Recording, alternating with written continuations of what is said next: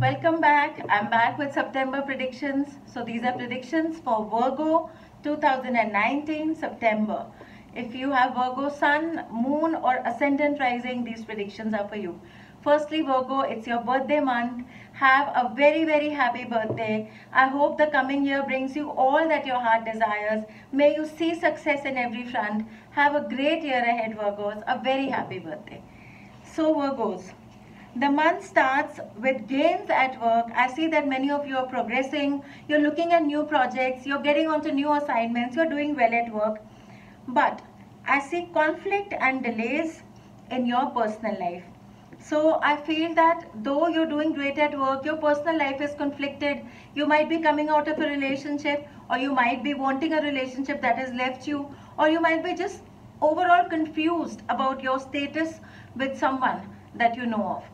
So personal life is slightly conflicted and I also see that for some of you financial gains are, are pending. You expect some money to come in which is still on hold or not reached you yet. Some of you are traveling or planning travel in the month of September to either a foreign land or a faraway place. And my advice for you Virgos would be go ahead and do it. The travel is going to be great for you. If you're traveling for work, it's going to get you good news it will uh, read uh, it will reach uh, or basically conclude to benefits at work. If you're traveling for personal life it's going to be great for you as well. It will put you in a space of happiness and contentment. So travel in september for virgos is a great time. Please go ahead and plan your travel or if you're traveling already expect it to be good.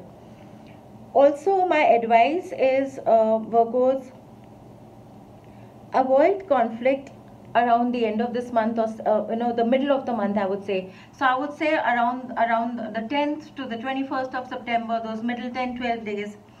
Be very careful with what you speak.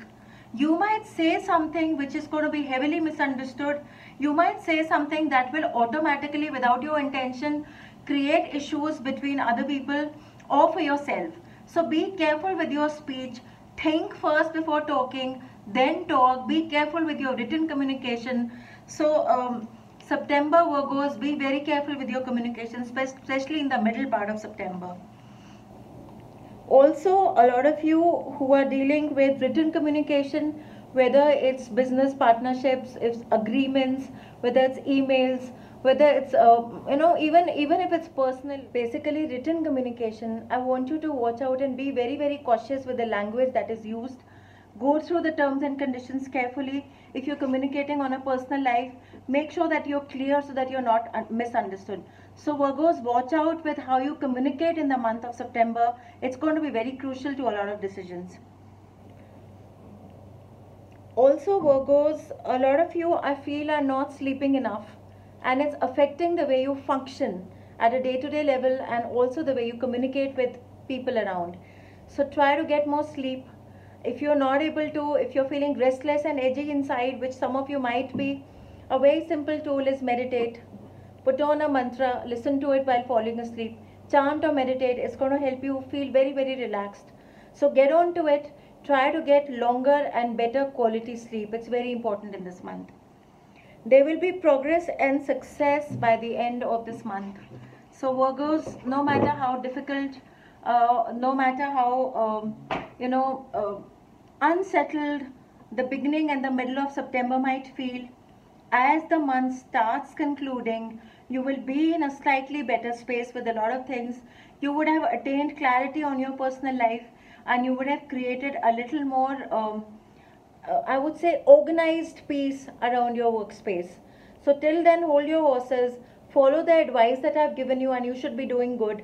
Listen to the small things that I'm telling you for do's and don'ts and follow them through and you'll have a good month ahead. If you find my videos useful, please like, share and subscribe to my channel. Share these videos so that this information can be reached uh, to more people and they also benefit from it.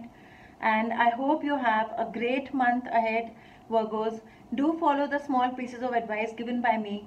Take care of you and have a great month ahead. Bye-bye.